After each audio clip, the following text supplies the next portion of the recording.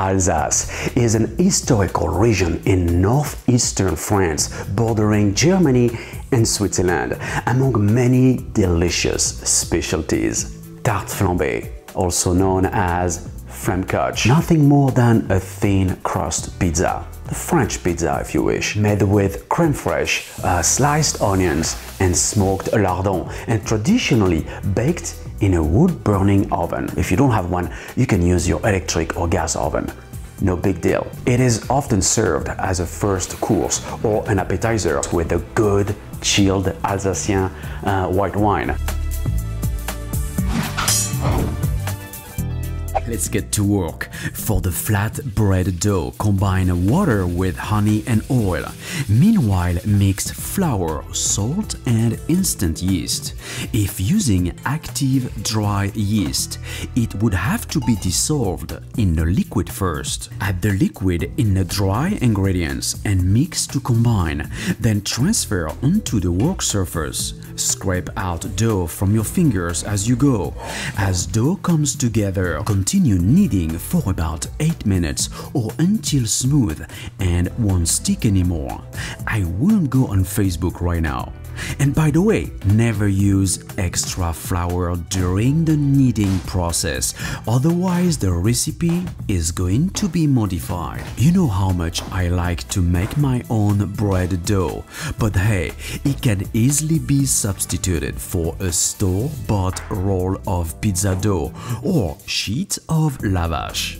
Here is a good trick. If your room temperature is too cool, put some boiling water inside your oven and wait until the dough has tripled in size. By the time the dough is rising, let's do the topping. I'm gonna julienne the bacon and thinly slice the onion. Then, in a hot frying pan, cook bacon until barely crispy on medium-high and drain. In the same hot pan, throw in the butter and the onions and cook on high heat for 2 minutes. Then lower the heat and continue to cook slowly until tender, about 10 minutes. You got the point. Pre-cooking bacon removes fat and enhances its flavor, while pre-cooking onions soften them, otherwise they won't cook through if added raw. As a topping, speaking of which, here is the. Three beautiful things mixed together. Cream cheese, creme fraiche and ricotta, seasoned with salt, pepper, and what else? the most important thing fresh grated nutmeg. I guess the dough must be ready by now. On a floured work surface, divide dough into two equal portions and shape into balls. Cover and let rest for 20 minutes to relax. Since it is more challenging to make a small bread recipe, this one can actually hold two trays and each yield 16 appetizer-sized portions or 8 servings. Then using your fingertips, flatten the dough and roll out into a medium-sized disc. Cover and allow to rest 20 minutes or more before giving the final stretch. Don't skip steps. Bread needs care and time to give its full potential in order to end up with a thin crust. Look, it's been resting for 30 minutes.